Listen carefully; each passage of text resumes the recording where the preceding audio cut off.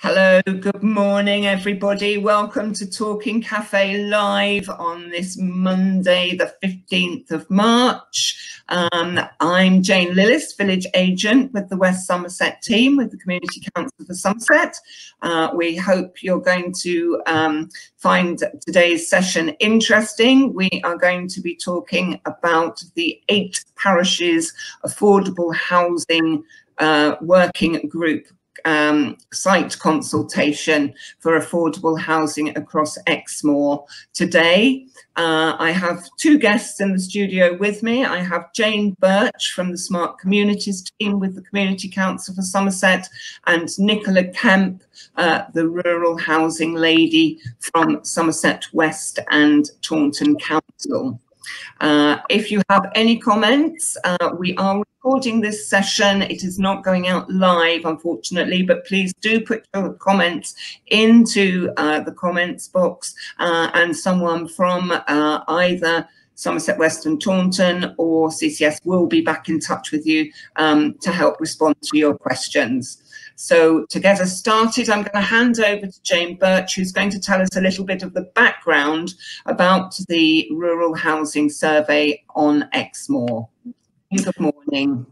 Hi, Jane. Hi, nice to see you. Um, yeah, I just wanted to give a little bit of background to, to what Nicola's doing at the moment um, that we were involved in a couple of years ago now. Things have um, moved a little, you know, um, moved on from where, where we were back then. Back in uh, 2017, we started this project, um, working with um, the eight parishes that Nicola's going to be talking more about um, what's been happening with them more recently, which are, I've got it written down here so don't forget anybody, uh, Timberscombe, Exford, Winsford, Cutcombe, Wootton Courtenay, Exton, Luccombe and Luxborough. So all in the central part of Exmoor, working with those parishes alongside the National Park Authority and what was then West Somerset Council. And the idea was that to carry out a housing needs survey around looking at affordable housing needs for the people that live or are connected to those parishes, people who are living there, working there, or have got a family connection. It was decided to do them as a group of parishes, because the population is quite low in that area, so it made sense to do them collectively. And they've also got common links around schools and, and buses and, and, employment as well. So we kind of um, they formed they formed a group um, to do this piece of work, and um, we worked with them to develop a, a, survey that would be appropriate for those those parishes around what what affordable housing need there was, and also to fit in with the planning constraints of the national park and um, because it's particular because being a national park things are slightly um, different from in other district areas.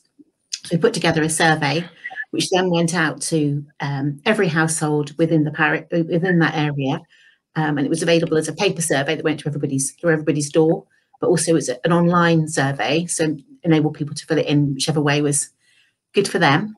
Um, and we also encourage people who were employers in the area to share it with their employees who perhaps need to live in the area but couldn't at the moment um, or with people who perhaps children had grown, grown up and left and had to move elsewhere, but really needed to be living in that area. So we tried to make it as uh, as inclusive as possible. So that went out to all the households in that um, in that area, and that although that information came back in, and we from that um, process, which was obviously we handled in a very confidential manner because you're dealing with lots of personal data, have very kind of clear data management policies about what we do with people's data. A report was produced, which was then the housing need that came from then has informed the next stage of the project, and that's where um, Nicola's work has come in to kind of implement that the, the needs that were apparent in that survey um, are what what's kind of basis really of what what, what she's able to do now. Um, obviously, that was a snapshot in time, and things people's needs change. Um, you know, people mm. move, marry, split up, all kinds of different, you know, grow up. The things happen, um, but generally we find that there'll be a, there'll be a shift. But generally within a, a, survey, you'll you'll get a good idea of what that need is. Even a couple of years on, it will still be um, mm. relevant and useful for, for that sure. um, um, we get involved in a lot of parishes across Somerset doing this, and normally sometimes it's like this one it's around affordable housing and they want to do something for their parish uh, but sometimes it's you know there's a planning application coming in and they want to um, uh, kind of have been informed as a parish council to be able to say, actually, that's not what our parish needs, or we need more of this kind of housing and less of that, or whatever. So it helps them, helps those parishes to be have that information, that that um, robust data that they can then use to help them to move forward. And I really hope that um, it's been useful for for, for Nicola's work. Um, she she works with the group across those parishes. So that's that's what our role is, um, and that's what we that's what we did. And it's it's just really good to see that um, the parishes are working together to make this this happen. That it wasn't just a piece of research that happened; it's actually being used practically, and they're clearly moving forward really well. Move, moving forward with the consultation.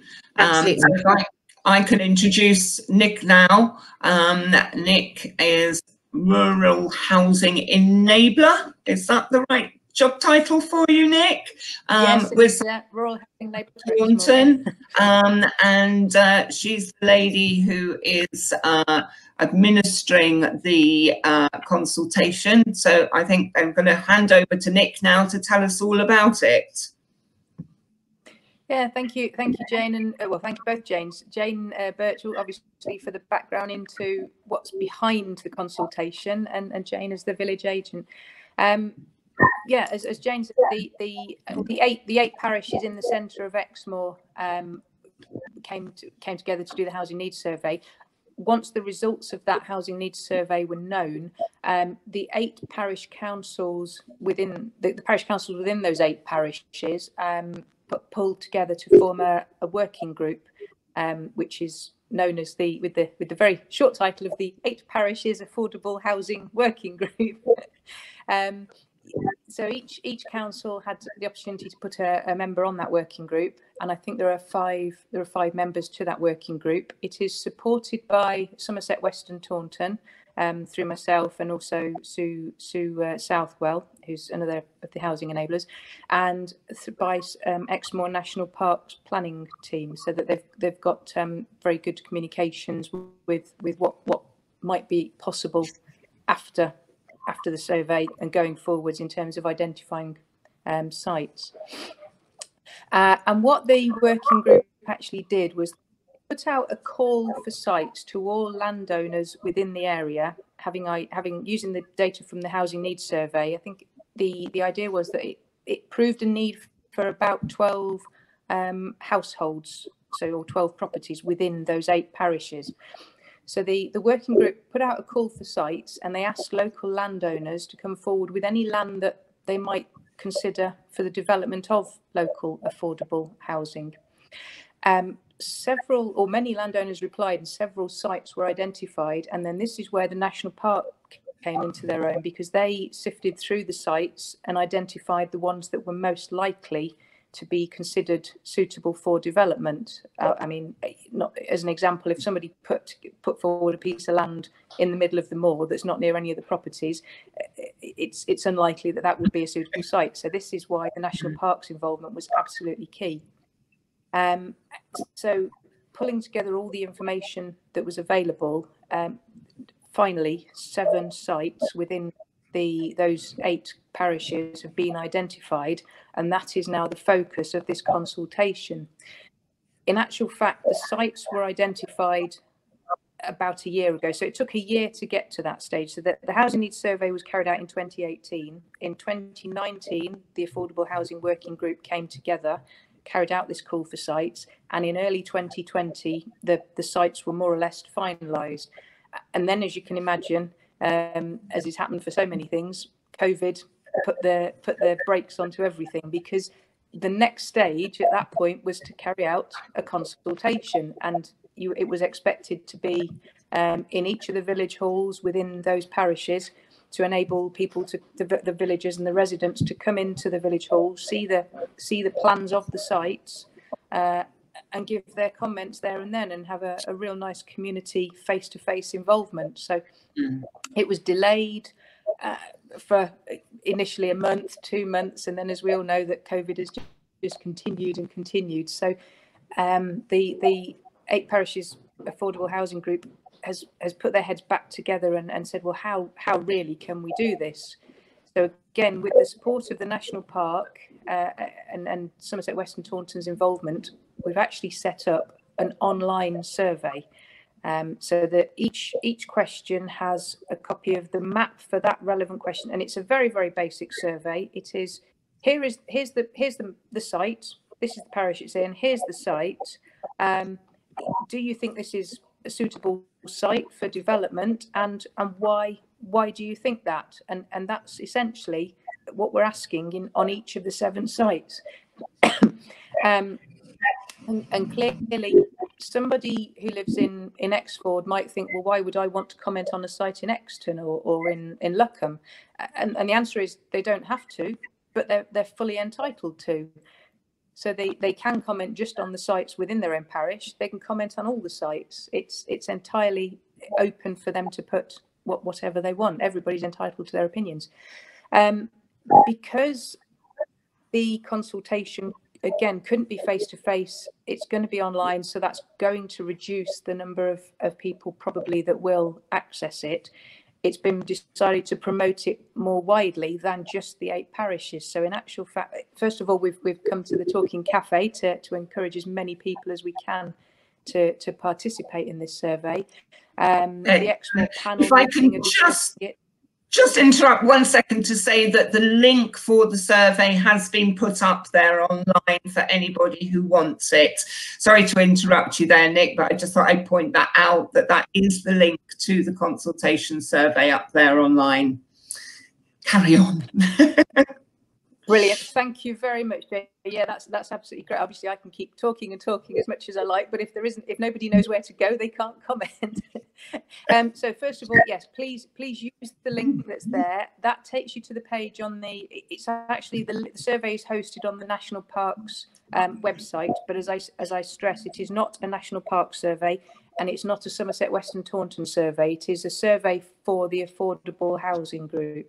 Um, but yes, please use that link uh, and go to it and, and have a look. And if you only want to comment on one site, just comment on one site. If you want to comment on all the sites, please do so. We just need as many people as possible to engage with this uh, and involve the community. Um, so yes, the, the I think the Exmoor panel um, will have talked about this last week, and the Exmoor Consultative Forum will be will be um, discussing this next week. Talking Cafe have, have, been very supportive and given us a whole slot today to talk about this. Um, each of the eight parishes named there um, have got um, have got, been given posters to promote the survey and, and encourage everybody to take part in it. Um, and it's really just about spreading the word.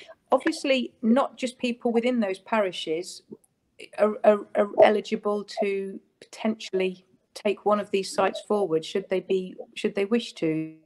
The the the local connection is required for each of these sites for for affordable housing. And without going into the, the it's it's it's it's very simple in one way but it's very difficult to explain it. Um, but essentially anybody with a local connection to the parish or adjoining parishes as i understand it. So so anybody in Cutcombe those eight parishes are the adjoining parishes. But in fact, anybody in, uh, let's say, Exton, for example, well, Dulverton is an adjoining parish to Exton, I believe. So, uh, and and I'm not too sure what the next one is. Perhaps Brompton Regis. So, those eight parishes are not the be all and end all. Anybody that neighbours any of these parishes is also entitled to, fully entitled to. And in fact, anybody within the national park really is entitled to an opinion, but it's very relevant to anybody within those eight parishes and their neighbours. Um, and I'm just trying to think. So, just to move forward, the the survey is actually open for the whole of this month, um, so until the 31st of March. And um, essentially, the next step after that will be we will collate everybody's responses, and please, as I say, go use the link, go online, submit your responses, um, and then those results will be presented back to the eight parishes affordable housing working group uh, and and will be available uh, however they determine they wish them to be um, with whatever comments people have made it, it's a it's a, an anonymous survey but the comment the valid comments i'm sure will be made available on each of the uh, sites as appropriate Okay, brilliant. So that, that's great, Nick. Um, just as the village agent that covers Exmoor and Dulverton, I'm aware that there are a number of households within those parishes that are perhaps not IT users um, being a, an older profile um, and maybe not even smartphone users. Uh, is there some way that the, the consultation and survey can be completed without going online? Yes, excellent question. As we say, yes. So we've we have tried to keep this consultation as COVID secure as possible. Hence the whole focus on the online survey.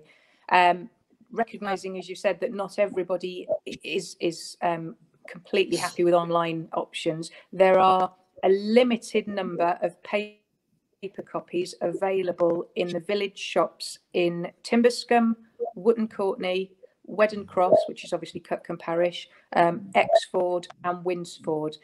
And I do stress a limited number. The, the idea is not for, for people to wander and pick one up and, and walk off with it and, and not use it. They're, they are there really for the people that cannot do online access or really don't want to do online access. Um, each of those paper copies of the survey have um, all the maps attached to them as well so that people can literally pick that pick that copy up complete it using the as reference and they also have a, a, prepaid return envelope to send them back to Somerset West and Taunton. So they don't have to take them back to the shop or worry about them being stored anywhere. They just pop them in the envelope and they're sent back to Somerset West and Taunton. And then they will then be added into the online survey details. So we that, we we we contemplated back the possibility of holding um, sort of socially distanced, face to face, appointmented con, um, contact. But it, it, really, with the lockdown as it as it was increased again mm. after Christmas, it just was not, not appropriate to do so. So yeah. it was um, online as far as possible. Uh, some limited paper copies um, for those that really don't want to do the online version don't ha- don't don't have that facility, but really want to to to, to comment. Don't have the access. Sorry, yeah, don't, That's fine. Not, not comfortable. Um, and, and as you say, that there, there's a map of each of the potential sites or identified sites, um, and we've got a little screenshot there of what one of those maps looks like. Um, Nick, can you just sort of talk us through the information on on there generally? We've got the yeah. So this is um, the this is the Exton. Yeah, the Exton site. So as you can see, um, the the the site that is being looked at is that is outlined in black in the centre, and the map itself says Exton. It says Exton at the top, and then down just below the map itself, uh, at the bottom of the screen, there is there is the detail um, that says this is a. I can't quite see it on that one. I think it's a small site.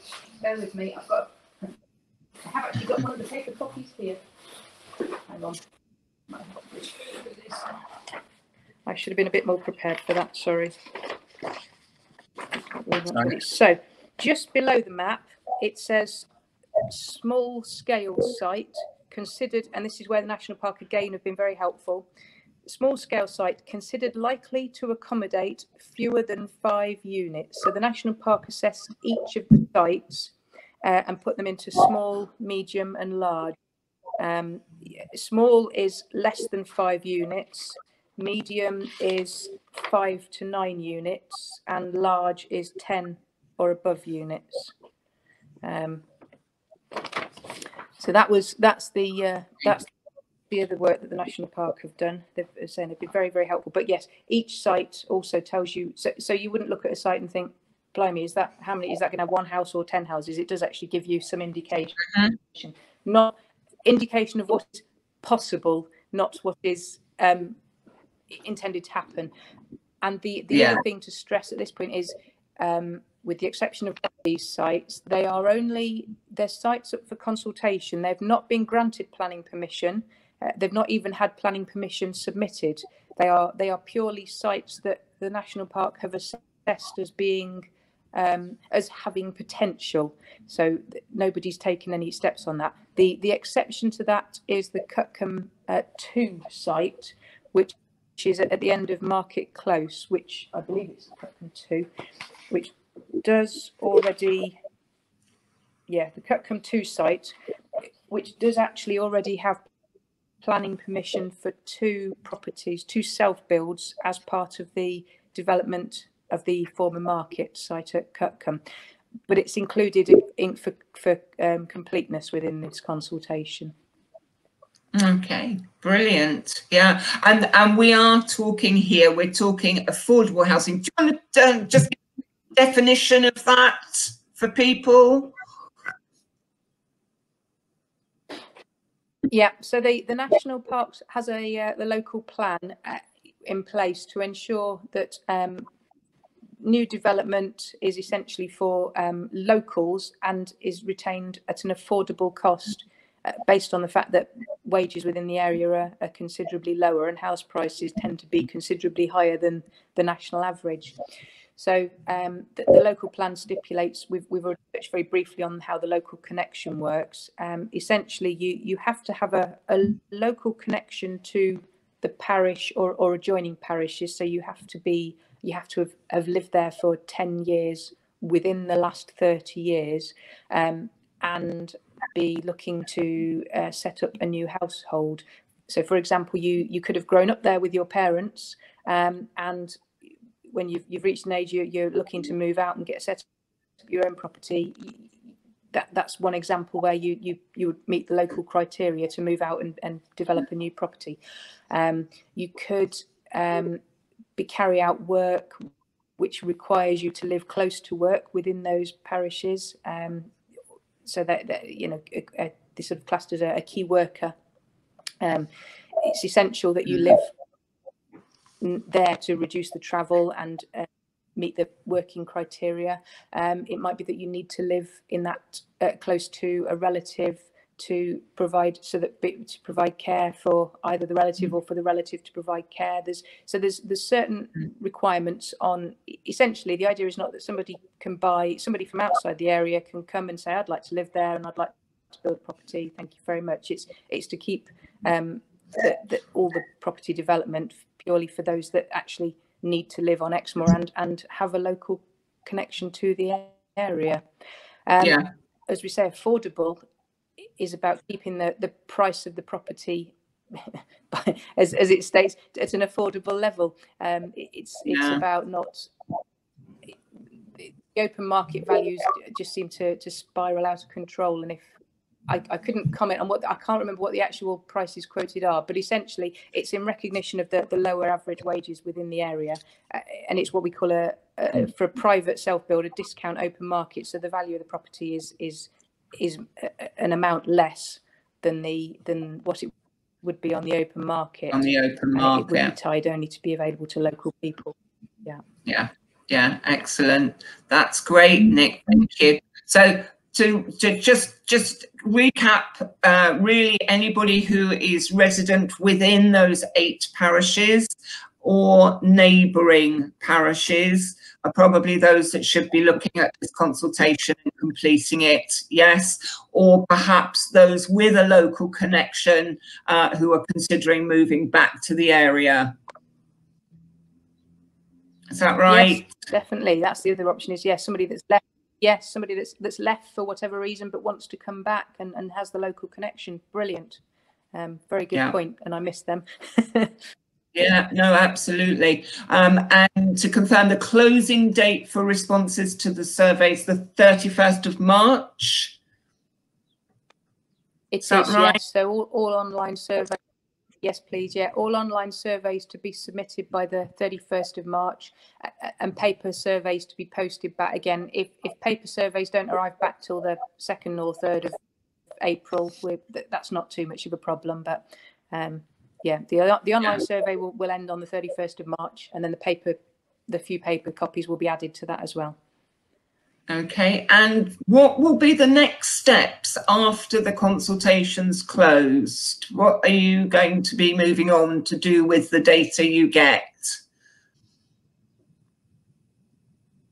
Brilliant. Yeah, a good question. The, so the, the consultation is closed. Um, I will then um, analyse the results uh, and, and, put those in a, a, format to present to the Affordable Housing Working Group, um, and and uh, hopefully they will they will then agree how they can be presented to the wider community. I think it's important to keep wider community involvement at this stage. Um, the obviously what we're also hoping the profile of these sites raises awareness of them and potentially brings people forward that may want to to talk about the option of, of developing one of them. Um, it might also bring forward other landowners that think, oh, I, I, also have a site that might be available. But so there's there's there's numerous little outlets that are potentially available. But it, it sticking closely to the survey, um, towards the end of March, we're presenting the results to the affordable housing group, and they will then make them available to the wider community. And um, the, the actual affordable housing group will decide the next steps at that point, whether it's to consider looking for a developer for one of the perhaps larger sites to for some social housing, whether it's worth promoting sites to um, self builders. There is a self build register with Exmoor National Park. Um, the, the, there's no defined um, process at this point. The, the the affordable housing working group is simply to facilitate and encourage the affordable houses. They're not looking to actually build and develop them themselves, but they're looking to to promote and make makes make um, make the journey right. a lot easier. So the the, so the two options there are self build um, or social housing through a developer. Yeah. So the, basically, the next steps go back to the working group from the parishes um, to, to move on from there dependent on the results of the survey. Really excellent. Yes, yeah. That's fantastic. Okay. Um, Jane, did you want to, to add anything or have any specific questions for Nick?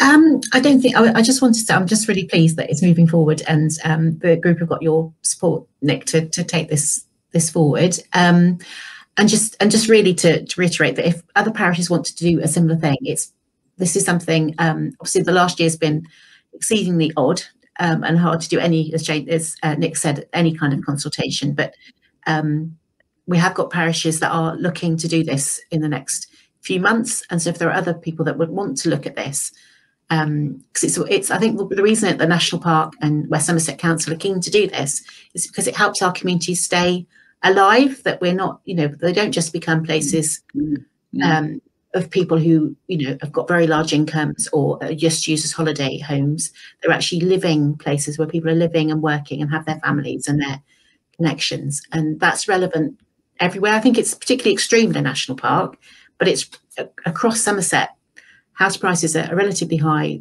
Incomes can be quite low for local people. Um, so yeah if this is something that other parishes would like to look at um, then we'd be really happy to talk about how how you go go about that and the the steps. And all the district councils are really keen to promote this kind of work and to work with parishes to to make it make it happen. So um, yeah, just to, to, give us give us a ring at, at CCS, and we'll um, I'll do our best to kind of guide people on what's what's what's helpful and what's the best route for their their parish. So hopefully they can go down a similar route to um, to the Exmoor parishes are doing. That's fantastic, Jane, and really good. And yeah, I mean, the the, the point you make about um, sort of a, a, gap between the level of wages and the, the house prices, um, and I think as well the move because of COVID towards purchasing in rural and coastal areas is probably having an impact in West Somerset. Um, I'm not up to date with, with estate agent data, but it wouldn't surprise me in the slightest to find that we are one of the higher percentage rising areas um, based on, on what I have read in the press. Um, but of course, we have such wonderful local communities. All we can do to protect those and keep those, as you say, as living and working communities uh, in this lovely area is uh, a fantastic thing. So thank you both. Thank you, Jane. Thank you, Nick. Um, hopefully that's been useful for our viewers. Um, please, if you have any comments uh, or um, want to get in touch with us, you can always message us via the CCS um, uh, Facebook page. Uh, we have put up contact details for Nick and the link to the survey. Uh, we hope you will complete that survey if it is relevant to you and you are in one of those parishes uh, or are looking to live in one of of those parishes. Um, and uh, we look forward to seeing what the results of the survey are when they come through. So thank you, everyone, and goodbye for today. Thank you.